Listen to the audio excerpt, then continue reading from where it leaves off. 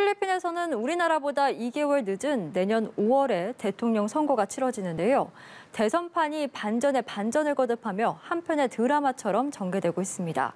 주인공들은 두테르테 현 대통령과 그의 딸, 그리고 독재자로 악명을 날렸던 고 마르코스 전 대통령의 아들입니다. 이봉석 기자입니다.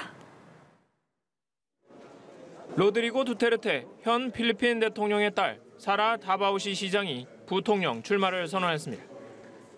Subalit, wala pa ring humpay ang inyong mga panawagan kahit na pagkalipas ng ikawalo ng Oktubre. After the deadline, the offer to run for vice president became an opportunity to meet you halfway. 사라 시장은 각종 여론조사에서 대통령 후보 지지율 1위를 달렸습니다. 이에 따라 그의 부통령 출마 선언은 지지자들에게는 충격이었습니다. 사라 시장의 발표 뒤에는 더 충격적인 소식이 전해졌습니다.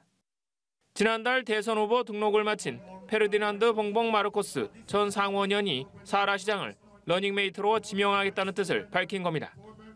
마르코스 전 의원은 과거 21년간 필리핀을 철권 통치했던 고 페르디난드 마르코스 전 대통령의 이름을 그대로 이어받은 그의 아들로 독재자의 아들 그리고 스트롱맨의 딸이 연합하는 셈입니다. 두 가문의 정치적 결합은 필승 카드로 받아들여지고 있습니다. 이 소식이 알려지자마자 독재 시절로 회귀를 우려하는 인권 운동가들이 거리로 뛰쳐나갔을 정도입니다. Never again! Never again! Never again to martial law! 일각에선 마르코스 전 의원과 사라 시장이 6년의 대통령 임기 가운데 각각 3년씩 집권하는 방안을 협상하고 있다는 얘기도 있습니다. 필리핀 대선판의 반전은 여기서 끝이 아니었습니다.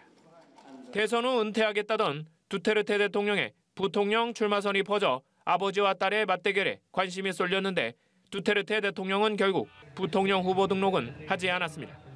연합뉴스 이봉서입니다.